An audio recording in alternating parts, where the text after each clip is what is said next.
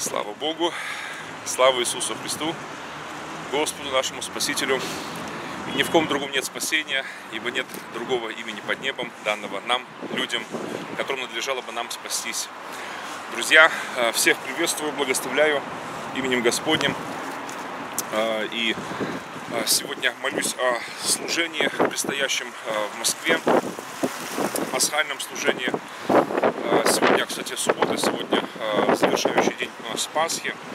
Ну, если брать библейскую Господню Пасху, то уже сегодня завершается неделя праздничная. Да, вот так интересно, в этом году получается суббота до субботы. Не, часто так такое. Да, а, от субботы до субботы, да. Потому что а, вот эта пасхальная ночь с 14 на 15 Ниссана в этом году выпала на вот 30-31 эм, марта. И вот до 7 апреля э, продолжались дни опресничные. Сегодня 7 апреля. Ну, а в библейском исчислении сегодня 22 Ниссана 1778 года. Ну, а 7 апреля всего 2018 года получается.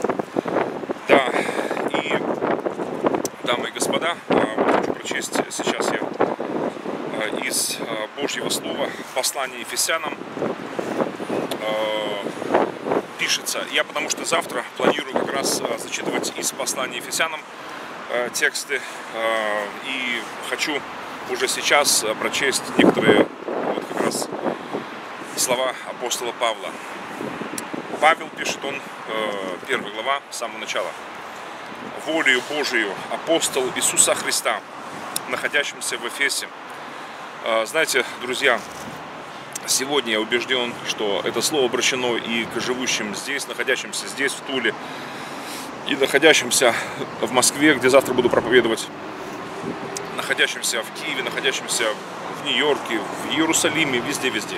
Потому что Божье Слово действительно оно живо, и это послание оно вдохновлено самим Богом, Богу вдохновенно.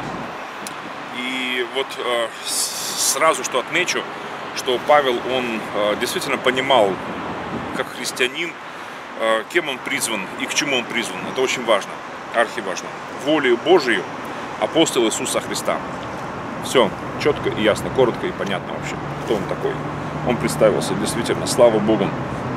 Вот, и сегодня э, э, я благодарю Бога за то, что э, верующие люди, многие-многие очень христиане сегодня также четко знают свое призвание и кем они призваны и в кого они уверовали. Это очень важно.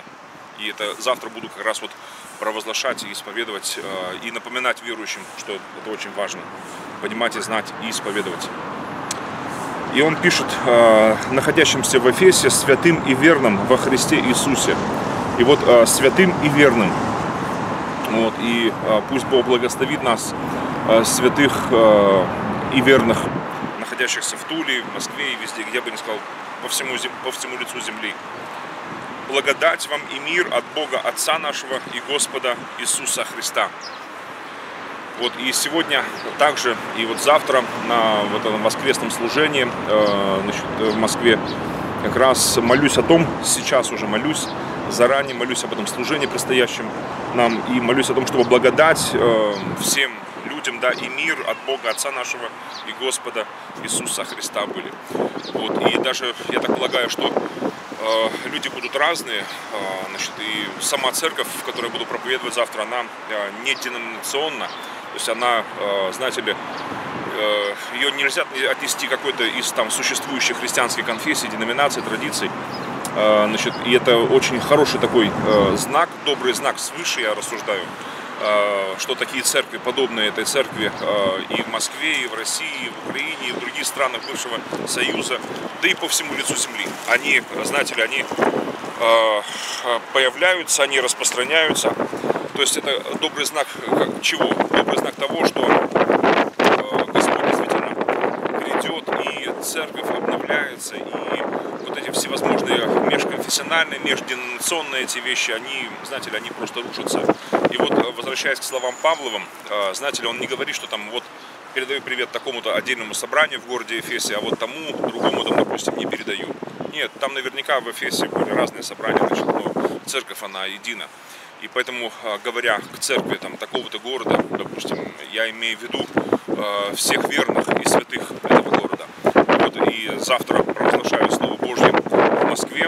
И я не только в том э, собрании, небольшом собрании, в котором я уже бывал, уже раз уже, ну, был уже, проповедовал недавно. Буду вновь э, в этот раз, получается, на Пасху, э, церковную такую православную протестантскую Пасху. А здесь культура православная, поэтому как бы, значит, и большинство людей так или иначе Пасху связывают именно с православным, значит, старым стилем а, потому что по новому стилю уже весь мир католический, протестантский православный, в общем-то, отпраздновал в прошлое воскресенье. Вот, э, это очень знаменательно, что Пасха э, вот церковная по новому стилю в этом году совпала с истинной библейской Пасхой, будем так говорить. Слава Богу, с Пасхой Господней, с Песахом, с днями опресночными. Да, слава Богу. И поэтому а, вот, провозглашаю Слово Божье, повторяю, что я провозглашаю Слово Божье всем верным и святым. Не только того собрания, посещающие то собрание, потому что там на Строманке 11, где собрание проходит этой церкви, кстати, если в Москве завтра, а, то, пожалуйста, в 15.00 приходите, приглашаю вас. Значит, э, в 15.00 на Сокольниках, там недалеко от метро Сокольники, а, улица Строманка 11 или Стромынка, я я так не знаю, как правильно ударение поставить, потому что я слышу в Москве и, так, и такое, и такое слово.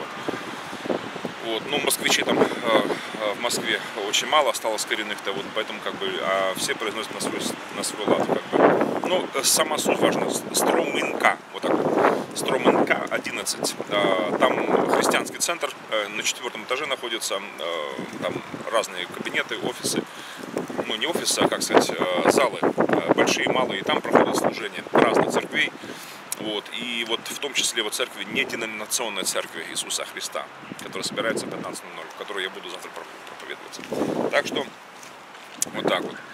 Вот, и, э, конечно, да, если вы придете там в субботу, воскресенье, да, я так думаю, наверное, в каждый день, там, каждый вечер, там, служения какие-то происходят обязательно, потому что там десятки церквей арендовали, арендуют. Э, в Москве не так много, на самом деле, э, сейчас, к сожалению, э, мест, где пускают евангельских верующих так вот для служения, проведения собраний.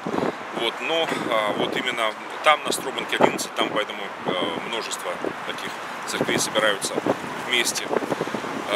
Жизнь так вот объединила. Там, кстати, чернокожие собираются христиане, там бывал я в гостях, тоже очень интересное собрание. Вот, и далее. А, с третьего стиха. «А, «Благословен Бог и Отец Господа нашего Иисуса Христа, благословивший нас во Христе всяким духовным благословением в небесах». Вот а, это, эту мысль буду тоже стараться развивать. Ну, вообще, из послания Ефесянам Завтра центральное место Писания будет другое, э, из пятой главы, э, там, где говорится, что «Встань спящий, воскресни из мертвых, и осветит тебя Христос». Вот, но, значит, э, вот, но так или иначе, вот эти тексты молитв Павловых из, этих, из, из этого послания, из разных глав, они будут завтра звучать. Я думаю, это замечательно, что даже спустя два тысячелетия эти слова, молитвословия этих, они актуальны по сей час, по сей день. Они актуальны э, в судьбах верующих, и я убежден, что э, очень многим верующим это принесет огромнейшее благословение. Слава Богу. Так что так. Ну, а здесь сегодня солнечный такой день, э, суббота, окончание дней опресночных, окончание Пасхи. Ну, а церковная православная Пасха только начинается. Ну, из-за антисемитизма, опять-таки, Э, такая проблема э, у нас, к сожалению. Но вот несут люди куличи, не мацу, да, э, куличи, то есть языческие такие обычаи, но я верю, что Господь даже через и через эти вещи, через эти хлебобулочные изделия что-то да скажет сердцам людским. Самое главное, чтобы пришло понимание людям, что наша Пасха это сам Иисус Христос. Именно в этом послании как раз пасхальное послание, центральное, основное всех этих дней э, я проповедую в разных собраниях, в разных конфессиях, деноминациях и даже в таких неденоминационных э, собраниях, церквях. Вот, и как раз э, действительно это ну, архиважное послание. Ну все тогда, до встречи с Богом, мир всем. Христос воскрес, воистину воскрес.